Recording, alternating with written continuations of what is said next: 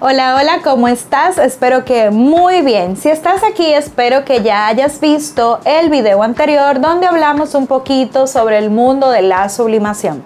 En este video vamos a profundizar un poco más y vamos a tocar unos temas bastante serios o importantes, que son la impresora, la tinta y todo lo que necesitamos para hacer nuestro trabajo productos específicos para sublimar, que la mayoría son de base blanca, o sea, de color blanco. Pueden ser tazas, termostazas, llaveros, eh, tags. Hay muchísimas opciones en el mercado. Pero adicional también están las telas que con base de poliéster tú puedes crear tus propios patrones y puedes tener tus telas para hacer lo que tú quieras. Ponte creativo. En cuanto a los blanks, si es tela, será poliéster. Y si es rígido, o sea, una taza o un tumbler, va a ser polímero, lo que será la base del material que vamos a trabajar. Y mi página favorita para conseguir blanks para sublimar, se las dejo en la descripción o encuéntrala junto a todos los detalles de esta serie en etnascraft.com slash sublimación que ya sabes será de color blanco mayormente. Otra cosa muy importante que vas a necesitar es un papel especial para sublimar y cinta. Esta cinta es de calor, que no se te ocurra poner cualquier cinta adhesiva porque si lo haces vas a marcar lo que tú le pongas y se va a quedar la cinta o en otros peores casos se va a derretir. Y tú no quieres eso porque automáticamente dañas el material. Pero sí toma en cuenta que debes de utilizar papel y cintas especiales para sublimación. El papel que utilizo para trabajos regulares de sublimación es este Y si voy a sublimar sobre algodón, es el Easy Sobli, pero de ese te hablo más adelante. Ahora, lo más interesante de todo esto son las impresoras. En el mundo de la sublimación existen dos grandes grupos de impresora. La que tú puedes configurar tú mismo adaptándolo solamente utilizando de esas impresoras que tú le puedes colocar la tinta y pues en vez de utilizar una tinta regular le pones la tinta de sublimación. Pero ojo aquí cuando haces esto primero dañas pierdes la garantía.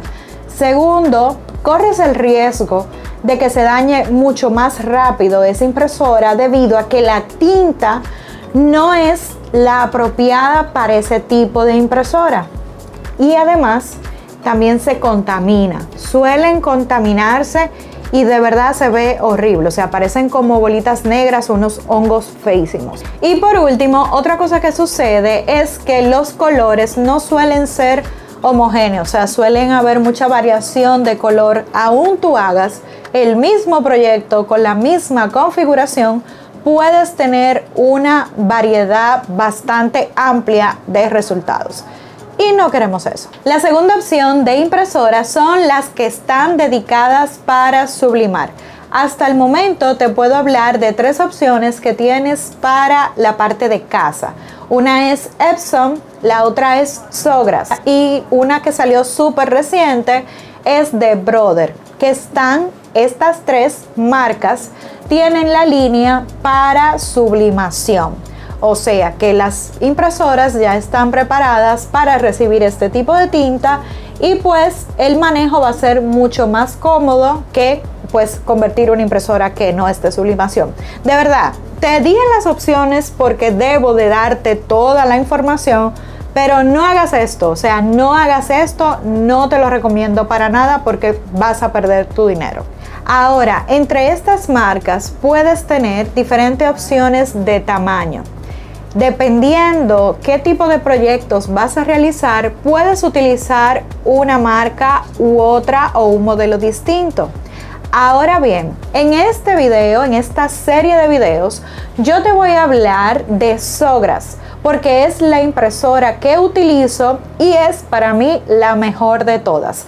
No sé si ustedes conocen mi historia con Epson, si no, se los dejo por aquí de referencia porque de verdad que no me fue bien para nada con esta marca y pues de Brother no puedo hablar porque no la conozco. Pero literalmente se salió hace muy poquito tiempo. Ahora, ¿qué sucede? Sogras tiene tres opciones de tinta hasta el momento que puedes colocarle a tu impresora. Y lo ideal es que si decides utilizar una de estas tintas, pues ya te cases con ese tipo de tinta por todo el uso de la máquina para que no vaya a haber como quizás un rejuego ahí. No sé, como un consejo de precaución. Algo muy importante es que Sogras es la única marca que da dos años de garantía y te ofrece una llamada, ahora también en español, donde tú puedes agendar un espacio con ellos y te ayudan a instalar tu máquina desde cero. Así que no vas a tener ningún inconveniente para que comiences a utilizar tus Sogras. Ellos tienen su sistema de diseño, pero algo en general con todas las impresoras es que tú puedes manejar tu sistema de diseño y la forma en que quieres crear tus proyectos desde cualquier programa que tú quieras utilizar. Con el que tú te sientas cómoda está perfecto para trabajar sublimación. Pero no te preocupes que si quieres saber más de diseño para sublimar y cómo encontrarlo si no, no tienes habilidades, todo esto te lo voy a contar en los próximos videos, así que no te lo pierdas. Ahora, algo que quizás muy pocos saben es que Sogras tiene tres tipos de tinta. Una de ellas, y voy a hablar súper rápido porque, pues digamos que no es sublimación como tal, pero es la Chroma Blast. La tinta Chroma Blast puedes aplicarla sobre algodón, pero si decides utilizar esta tinta, pues básicamente ya no la vas a poder utilizar con sublimación como tal.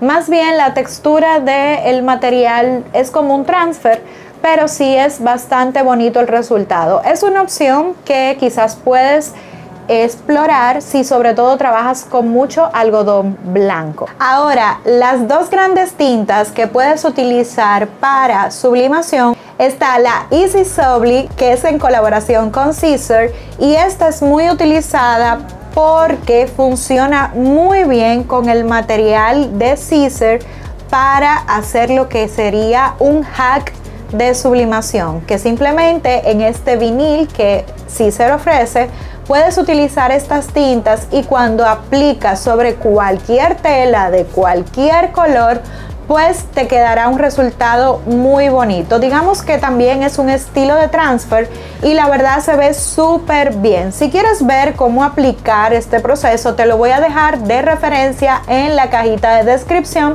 ya que tengo un tutorial completo para hacer este proceso. Ahora, ¿cuál es la tinta de sublimación por excelencia de Sogras? Pues honestamente es la Sublijet. Con esta puedes aplicar sublimación normal. Así también lo puedes hacer con la de Easy Subli pero los resultados quizás pueden variar un poquito en cuanto a la intensidad de los colores. Ahora, ¿qué es lo fundamental para que tengas en cuenta con la sublimación? Es que necesitas una plancha térmica. Pero ¿qué plancha térmica vas a utilizar? O sea, Tienes que tener en cuenta algo, la impresora y la plancha térmica tienen que trabajar en conjunto, porque de nada sirve que tengas una impresora que puede imprimir súper grande, pero que no tengas una plancha térmica que te pueda hacer un planchado súper grande. Entonces, Aquí tenemos unas cuantas limitantes, pues para nosotros los crafters, porque ojo, la sublimación se puede ver a un tamaño mucho mayor, de escala muy grande. Incluso he tenido la oportunidad de ver máquinas de sublimación planchando, o sea, cosas enormes, telas enormes, pero no somos imprenta, aquí somos crafters. Entonces, para poder hacerlo como crafter, Generalmente vamos a tener una plancha sencilla. Si es tela o superficies planas, puede ser 13 por 13 pulgadas, dependiendo pues el modelo de plancha térmica que tú decidas tener. ¿Qué es lo importante?